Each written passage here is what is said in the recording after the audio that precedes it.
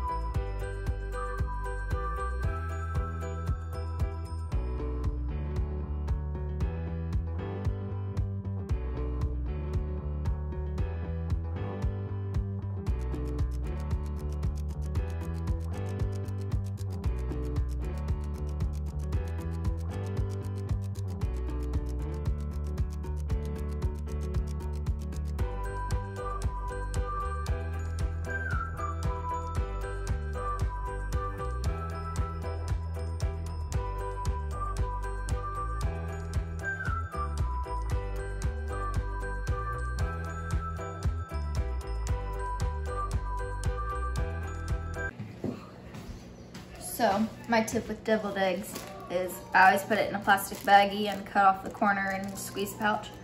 But when you are traveling, so we're not gonna eat these until after lunch, I don't like how the yolk mixture gets all crusty and stuff after a little bit and then they wiggle around in the car. So I'm just gonna leave it and I will cut it and do it.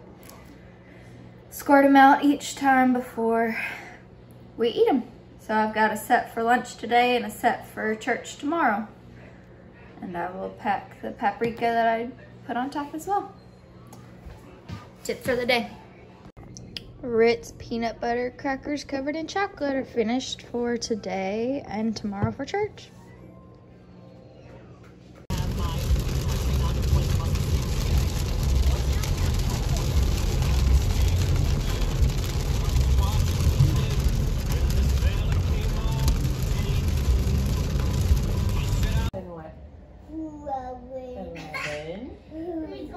Riley, what are you doing?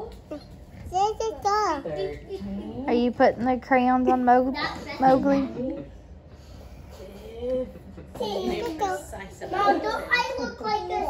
She's OCD.